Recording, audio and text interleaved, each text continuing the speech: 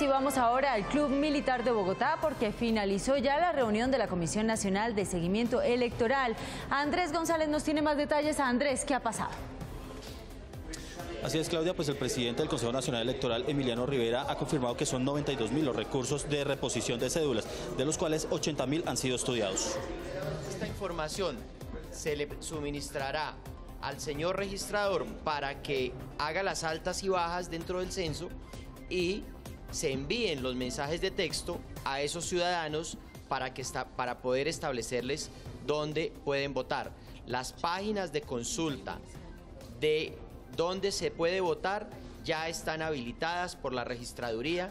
Falta incorporar los recursos que está resolviendo en este momento el Consejo Nacional Electoral frente a las resoluciones donde se dejó sin efecto la inscripción de algunos ciudadanos.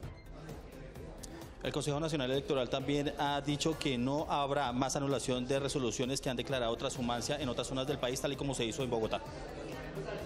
Cierto, hay muchos recursos que, que tienen unos visos de ilegalidad y por eso nos vamos a ver obligados a dar traslados de documentación que nos llegaron a las autoridades competentes. Aquí nos han llegado unos recursos donde vienen acompañados de certificaciones suscritas en blanco para que la gente las diligencie. Eso no da ninguna credibilidad a ese recurso. Hemos comparado con bases de datos del Estado que algunos que recibieron casas del gobierno nacional que tienen que certificar dos años de residencia en ese lugar donde, donde reciben su casa, están votando o quieren votar en otro lugar. Eso es abiertamente transhumancia. La misión de observación electoral de la OEA ha manifestado que estas elecciones del próximo domingo transcurrirán de una manera normal y que no hay mayores preocupaciones. Es toda la información por el momento desde el Club Militar. Sigan ustedes en Estudio como Noticias. Gracias, Andrés. Con el fin de racionalizar el uso del agua y mejorar la prestación del servicio, el Ministerio de Vivienda y Planeación Nacional están considerando la posibilidad de fusionar empresas de acueducto de ciudades vecinas.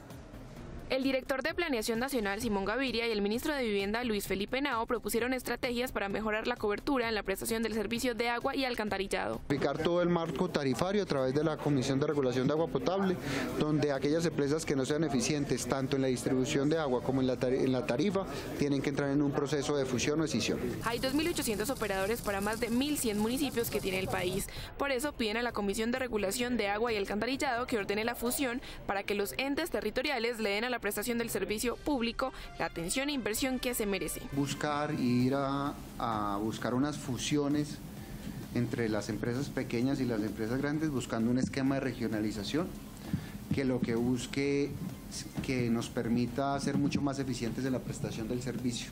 Según el director de planeación, en el país se pierde el 42% del agua por fugas y problemas técnicos de los acueductos. En la costa la situación es peor, pues la pérdida es del 62%. Además, en el área rural, el 58% del agua no es apta para el consumo porque los pequeños operadores no cuentan con recursos para potabilizarla y mejorar la prestación del servicio.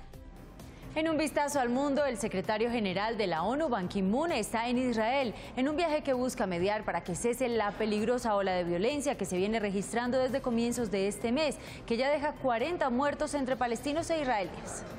Mientras el secretario general de la ONU llegaba a Israel y Palestina para mediar la situación de violencia salida de control, el ejército y la policía israelí informaron sobre dos nuevos atentados de esta guerra uno con arma blanca y otro con un vehículo que atropelló intencionalmente a dos personas.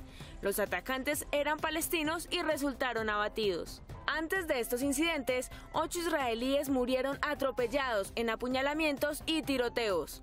Por su parte, casi 42 palestinos han muerto en manos de las fuerzas de seguridad israelíes.